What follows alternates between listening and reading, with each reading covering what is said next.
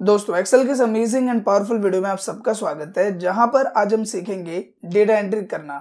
अब data entry एक बहुत ही इंपॉर्टेंट टर्म है और साथ ही एक कंफ्यूजेबल टर्म भी है, क्योंकि मैक्सिमम जो लोग होते हैं, जो लोग freshly new computer related jobs के लिए जाते हैं, वो लोग कंफ्यूज होते हैं कि एक्चुअल में डेटा एंट्री है क्या? ये कितना ज़्यादा बिग स्टफ़ है।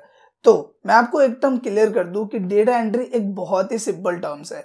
डेटा एंट्री मतलब आपको कोई डेटा दिया जाता है in a form of PDF या in a form of digital data और उस डेटा को आपको एक्सेल में या कंप्यूटर के जिस भी सॉफ्टवेयर में बताया जा रहा है, वहाँ पे सिंपल टाइप करके उसकी एंट्री करना होता है। That is the simple process of data entry तो डेटा एंट्री बहुत ही सिंपल टर्म है। आपको एक डेटा प्रोवाइड कर दिया गया है।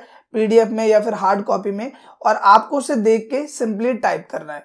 अब होता क्या है एक्सेल में जो लोग बिगनर्स होते हैं, उन लोगों को कुछ ट्रिक्स या कुछ टर्म्स के बारे में पता होना चाहिए, जिसकी मदद से आप डेटा एंट्री को बहुत ही इजीली परफॉर्म कर सको। आज के इस वीडियो में हम देखेंगे कि जो मेडिकल रिलेटेड डेटा होता है मतलब मेडिसिन वगैरह से रिलेटेड डेटा होता है तो उस टर्म से रिलेटेड डेटा की आप कैसे एक्सेल में एंट्री करोगे? मतलब सिंपली इस डेटा एंट्री को हम कैसे अटेम्प्ट करेंगे? वो चीज़ आज के इस वीडियो में हम सीखने वाले हैं। साथ ही इसमें मैं आपको कुछ ट्रिक्स भी बताऊँगा जो कि आपके लिए बेनिफिशियल हो सकते हैं। तो मेक श्योर कि आप इस वीडियो को पूरा देखें, क्योंकि ये वीडियो आपके लिए फुल ऑफ़ इन्फॉर्मेशन होने वाला है। तो बिना किसी देरी के शुरू करते हैं इस वीडियो को। तो नॉर्मली आ जाते हैं कंप्यूटर स्क्रीन पे, और यहाँ पे आप देख सकते हो कि मेडिसिन रिलेटेड ब्लिंक डेटा मैंने यहाँ पे प्रिपेयर किया हुआ है। अब इसमें ऐसे कई सारे टर्म्स है जो कि आपको कंफ्यूज कर सकते हैं। जैसे कि बैच नंबर क्या होता है एचएसएन कोड क्या होता है या फिर यहाँ पे आप देख पा रहे हो कि मैंने यहाँ पे 300 के साथ पीसेस वगैरह को मेंशन किया हुआ है। तो काफ़ी सारे टर्म्स है जो कि हम स्टेप बाय स्टेप समझेंगे। और इस मेडिसिन बिलिंग डेटा से रिलेटेड जो डेटा है उसकी एंट्री आपको कैसे करना है उस टर्म को हम बहुत ही अच्छे से समझेंगे। सो so, सिंपली क्या करते हैं हम आ जाते हैं शीट टू में जो कि बिल्कुल फ्रेश और ब्लैंक शीट है। अब सिंपली हम यहाँ पे कॉलम्स को देख लेते हैं कि क्या क्या कॉलम्स हमें यहाँ पे डालने हैं। जैसे batch number product name manufacturer तो हम यहाँ सिंपली आते हैं। हमने यहाँ पे सबसे पहले लिखा है क्या? बैच नंबर इसके बाद हम यहाँ पे लिखते हैं प्रोडक्ट नेम इसके बाद हमने लिखा कि ये जो प्रोडक्ट है, वो कौन से मैन्युफैक्चरर से बना हुआ है? तो हमने यहाँ पे लिख दिया मैन्युफैक्चरर इसके बाद नेक्स्ट हम हम यहाँ पे लिखेंगे एच एस एन कोड तो यहाँ पे सिंपली हमने लिखा H S N code H S N code क्या होता है, मैं भी आपको क्लियर करूँगा. इसके बाद हमने यहाँ पे लिखा परचेस रेट फिर हमने लिख दिया यहाँ पे क्वांटिटी तो यहाँ पे हम सिंपली लिख देते हैं क्वांटिटी फिर हमने लिखा यहाँ पे एम आर पी इसके बाद हम यहाँ पे लिखेंगे सेल्स रेट इसके बाद हम यहाँ पे लिखेंगे मैन्युफैक्चर डेट जिसे हम शॉर्ट में एमजीएफ करके लिखते हैं तो हमने यहाँ पे लिख दिया एमजीएफ डेट और फिर हम यहाँ पे लिख देंगे एक्सपायरी डेट अब यहाँ पे इन सभी टर्म्स को लिखने के बाद हमें सिंपली करना क्या मैं इसे थोड़ा सा छोटा कर लेता हूँ ताकि देखने में आपको आसानी हो। हमने कैसे सिंपली छोटा।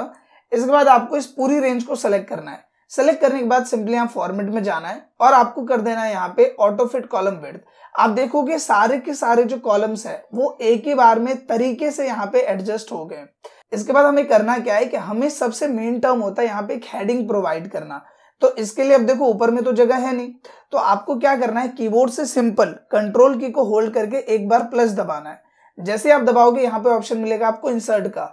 इसमें इंटायर रो पे क्लिक करके करना है ओके आप ओके करोगे, आप देखोगे, ऊपर में आपको एक खाली रो यहाँ पे मिल जाती है। हम इसे थोड़ा सा यहाँ पे छोटा कर लेते हैं, जो कि ऑन स्क्रीन आपको देखने में आसानी हो ये क्या? इसके बाद हम इसे ड्रैग करेंगे, जितने रेंज में हमें हमारा हेडिंग चाहिए। इसके बाद सिंपली हमको इसको मर्ज करना है, और यहाँ पे हम लिख देंगे मेडिसिन बिलिंग डेटा ठीक है, हमने ये टर्म लिखा। इसके बाद इसको सेलेक्ट करना है। सेलेक्ट करने के बाद इसे बड़ा कर देना है, जितने भी साइज़ में आपको इसे रखना है। जो भी फॉन्ट आपको यहाँ पे सबसे बेटर लगता है, इसके लिए वो फॉन्ट आप यहाँ से चूज़ कर सकते हो। सपोज़ मेरे को फॉन्ट ये ज़्यादा बेटर लग रहा है तो हमने ये वाला फॉन्ट सेलेक्ट किया। सेलेक्ट करने के बाद जो भी इसका बैकग्राउंड कलर आप रखना चाहते हो लाइक मुझे ग्रीन रखना है तो मैंने ग्रीन सेलेक्ट किया। और टेक्स्ट कलर हमने कर दिया यहाँ पे व्हाइट नीचे वाला जो रो है, उसको हम सेलेक्ट करेंगे, और इसका जो बैकग्राउंड कलर है, वो हमने कर दिया येलो और जो इसका टेक्स्ट है, इसे हम कर देंगे बोल्ड इसके बाद जहाँ तक आपको लगता है कि आपको डेटा प्रिपेयर करना है, उस रेंज को आप सेलेक्ट करोगे। और करोगे ऑल बॉर्डर आप देखोगे आपका जो फॉर्मेट है, वो यहाँ पे बड़े ही अच्छे तरीके से यहाँ पे रेडी हो गया है। अब सिंपली हमें करना क्या है? हमें यहाँ पे डेटा को फिट ऑन करना है। सबसे पहला टर्म आता है बैच नंबर आप लोग के दिमाग में डाउट आ रहा होगा कि बैच नंबर एक्चुअल में होता क्या है। तो मैं आपको क्लियर कर देता हूँ। देखो batch number contains information on self life कहने का मतलब क्या है कि अगर किसी भी हम मेडिकल डिवाइस या मेडिकल प्रोडक्ट की बात करें तो बैच नंबर से उस प्रोडक्ट से रिलेटेड जो भी इंपॉर्टेंट इन्फॉर्मेशन है, वो आप उसके थ्रू गेट कर सकते हो। तो बैच नंबर बहुत ही ज़्यादा इंपॉर्टेंट होता है। फ़िलहाल हम यहाँ पे अपने हिसाब से कोई भी बैच नंबर डाल देते हैं। जैसे सपोज़ मैंने यहाँ पे डाल दिया E S one five two G G F five suppose ये एक बैच नंबर मैंने इसका यहाँ पे दे दिया। ये करने के बाद यहाँ पे आ जाता है प्रोडक्ट नेम तो प्रोडक्ट नेम फ़िलहाल मैं दे देता हूँ। कोई भी कॉमन सा हम यहाँ पे चूज़ कर लेते हैं, जैसे क्रोसिन के बारे में आप सब जानते हो तो मैं यहाँ पे लिख देता हूँ क्रोसिन। मैन्युफैक्चरर हमने डाल दिया पेंडोला इसका मैन्युफैक्चरर है। एचएसएन कोड क्या होता है? तो ये भी समझ लेते हैं। देखो, अगर हम बात करें प्रोडक्ट्स के मामले में तो लगभग पाँच हज़ार से भी ऐसे ज़्यादा प्रोडक्ट्स है जिनको क्लासिफिकेशंस की ज़रूरत पड़ती है। तो एच एस एन कोड छह डिजिट का एक यूनिफॉर्म कोड होता है, जिसके थ्रू किसी भी प्रोडक्ट को एक क्लासिफिकेशन प्रोवाइड किया जाता है कि प्रोडक्ट क्या है और इसका क्या रोल प्ले है। तो इसलिए एच एस एन कोड बहुत ही ज़्यादा इंपॉर्टेंट होता है गुड्स के मामले में। तो हम यहाँ पे लिख देते हैं four five six five two three ये हमने एच कोड डाल दिया इसका। नेक्स्ट हम आता है परचेस रेट कि अगर हम अपने रिस्पेक्ट में बात करें कि ये जो प्रोडक्ट हमने बेचने के लिए लिया है तो पहले तो हम इसको खरीदेंगे। तो इसका परचेस रेट हमें कितना पड़ा? तो हमने यहाँ पे डाल दिया कि परचेस रेट हमें पड़ा है 120 और कितनी क्वांटिटी ली है हमने इसकी? तो हमने इसकी क्वांटिटी ली है बॉक्सेस में 100 बॉक्सेस के। अब इसके बाद आपने प्रोडक्ट तो ले लिया क्वांटिटी में इतना, फिर इसकी एमआरपी होगी उस पर कुछ ना कुछ। मान लो ये अगर आपको एक सौ का पड़ रहा है तो उस पर एमआरपी होगी बॉक्स पे कितनी? तीन सौ, दो सौ, ढाई सौ, चार सौ, जो कि कस्टमर को दिखाई देगा। तो यहाँ पे हमने डाल दिया थ्री हंड्रेड इसके बाद नेक्स्ट हम आता है सेल्स रेट कि तीन सौ रुपए है तो आप उसे कितने में सेल करोगे? तो ज़्यादातर मेडिकल शॉप्स में आपने देखा होगा कि दस परसेंट का डिस्काउंट या बीस परसेंट का डिस्काउंट देकर वो अपने प्रोडक्ट को सेल करते हैं। तो हमें क्या करना है? हमें यहाँ पे करना है इक्वल इक्वल करने के बाद हम इस एमआरपी को सिलेक्ट करेंगे। और इसका दस परसेंट इसमें से माइनस करेंगे। तो हमने किया माइनस, ब्रैकेट शुरू करना है आपको, और ये जो एमआरपी है, इसको दोबारा सेलेक्ट करना है। उसके बाद यहाँ पे मल्टीप्लाई करना है टेन परसेंट इस तरीके से परसेंट का सिंबल डालेंगे और हमने किया एंटर जैसे आप एंटर करोगे तो 300 का 10 परसेंट हुआ 30 वो माइनस हो जाएगा और यहाँ सेल्स रेट आ जाएगा 270 का। अब देखो एक्सेल में मैथ और एल्गोरिथम बहुत ही इंपॉर्टेंट है और अगर ये आपको बार बार कंफ्यूज करते हैं तो मैं यहाँ पे आपको एक बुक रिकमेंड करना चाहूँगा, जो कि है a mind for numbers and believe me इस बुक्स में कुछ ऐसे टर्म्स है, जो कि आपके लिए काफ़ी ज़्यादा फ़ायदेमंद है।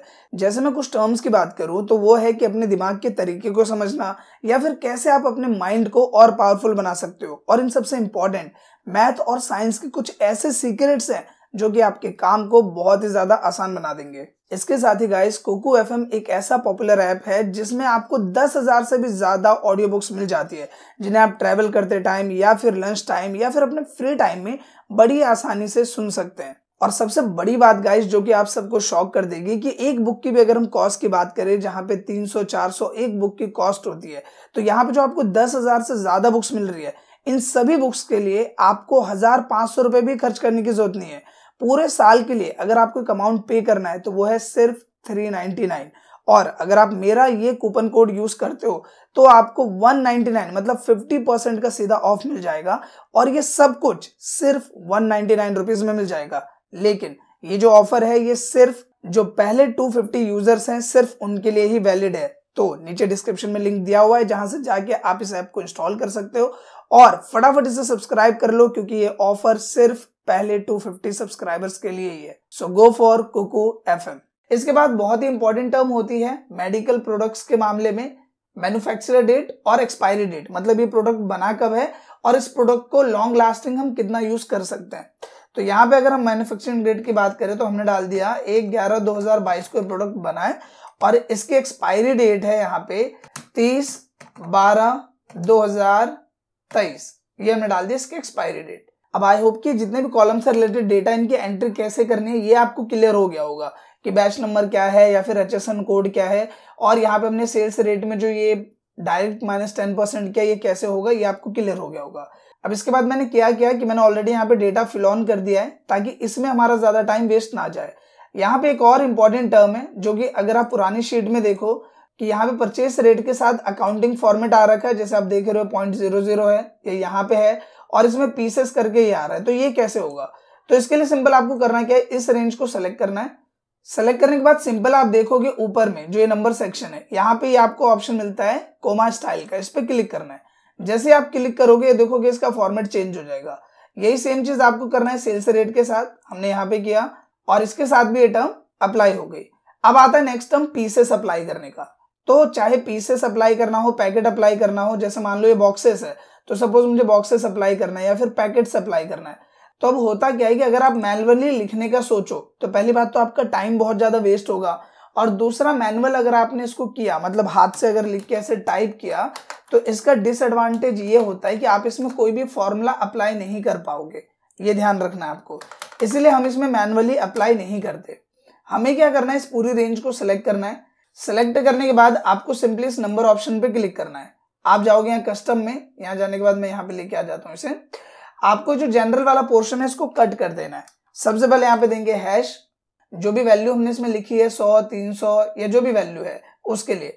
तो हम यहाँ पे देंगे हैश और फिर डबल कोट्स देंगे हम। उसके अंदर हम लिख देंगे पैकेट इस तरीके से पी के टी और डबल कोट किया क्लोज करेंगे ओके जैसे आप ओके करोगे, आप देखोगे कि इसमें पैकेट सबके साथ एक ही बार में अप्लाई हो गया है।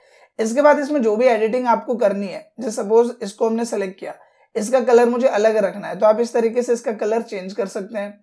या फिर मान लो इस वाले सेक्शन की बात करें, इसका कलर आपको कुछ और रखना है तो फिर आप इसमें जाओगे और जो भी कलर आप अप्लाई करना चाहते हो, वो चीज़ आप अप्लाई कर सकते हो। यही सेम चीज़ अगर आपको इसके साथ करनी है तो आप इसका भी कलर इस तरीके से चेंज कर सकते हो। और टेक्स्ट कलर ऐसे चेंज कर सकते हो। और इस तरह से सिंपली अगर आप कहीं मेडिकल रिलेटेड ऑर्गेनाइजेशन में वर्क कर रहे हो तो वहाँ पे आप मेडिकल रिलेटेड डेटा की एंट्री इस तरह से कर सकते हो। सो आई होप कि दोस्तों ट्यूटोरियल आपको पसंद आया होगा। अगर वीडियो आपको अच्छा लगा तो प्लीज़ वीडियो को लाइक करें शेयर करें। और हाँ कोको एफ़ में जो बुक मैंने आपको रिकमेंड की है तो उसमें मुझे ज़रूर बताना कि आपको सबसे ज़्यादा कौन सा चैप्टर पसंद आया। फ़िलहाल इस वीडियो के लिए बस इतना ही। मिलते हैं नेक्स्ट वीडियो में। तब तक के लिए थैंक यू